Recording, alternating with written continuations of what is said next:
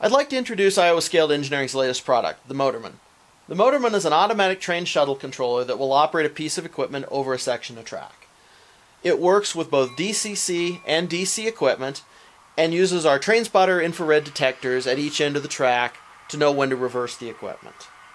It will continuously drive the locomotive or the trolley or whatever you choose over this section of track, providing an ideal solution for things like museum layouts, train show demo layouts, an isolated trolley line on your home layout, or even, as one of our test users does, to just drive a small local train over his main line to provide some visual interest while he's working on scenery. You can configure the speed, the delay time at each end, the acceleration and deceleration rates, as well as using some additional TrainSpotter detectors at intermediate stops. So for things like a trolley line, you can have intermediate stations between the endpoints.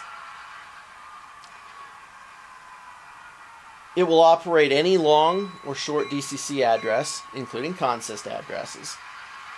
And as I mentioned earlier, it will store up to 15 of them with different configurations for the functions to be activated in both forward, reverse, acceleration, and deceleration modes.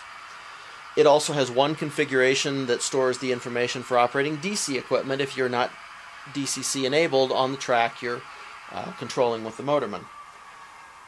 It'll also operate up to six additional accessory decoders in correspondence with what the equipment is doing, such that if you need to operate a turnout to drive a piece of equipment around a Y as it's accelerating, you can tie an accessory decoder configuration to that.